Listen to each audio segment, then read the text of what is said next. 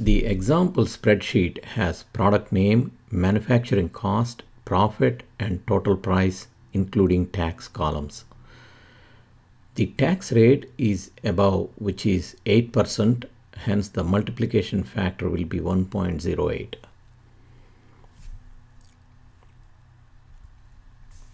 Now to calculate the total price for product 1, a formula can be created. Select cell D5, click on formula bar and enter equal to sign B5 plus C5 within parenthesis star B2.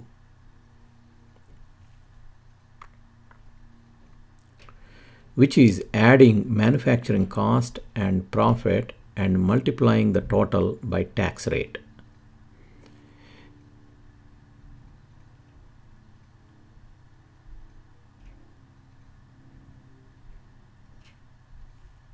You can see Excel calculated the price using the formula.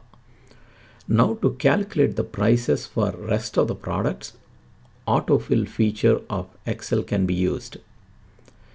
Select the cell D5, move the cursor to right corner of cell until it turns to plus sign, which is known as autofill handle. Now double click the mouse.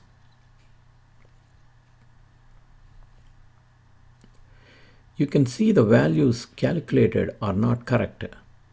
If you select cell D6, you can see Excel is trying to use tax rate from cell B3 because Excel when copying the formula uses relative referencing.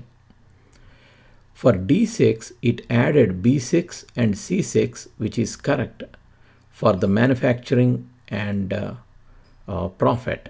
But the tax rate, it moved down one cell and tried to take it from B3 which is not correct. This can be solved in two ways. Add another column for tax rate and then use that cell for multiplication. Then prices will be calculated correctly.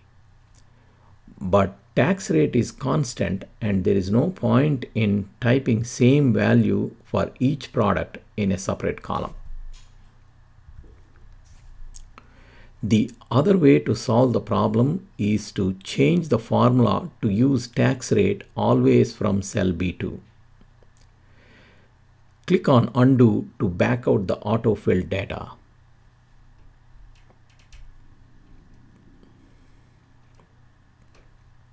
Click on formula bar.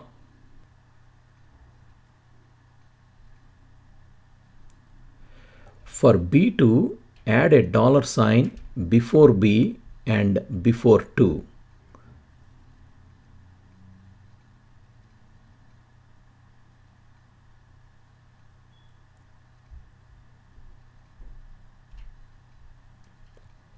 This indicates to Excel an absolute reference to cell B2. You can see the Excel calculated the total price same as before. Now try to autofill the prices of other products. Select the cell D5. Move cursor to right corner until the cursor changes to plus sign. Double click the mouse. You can see the prices are calculated correctly. You can see the formula copied for all the cells in total price column has B2 for tax rate now.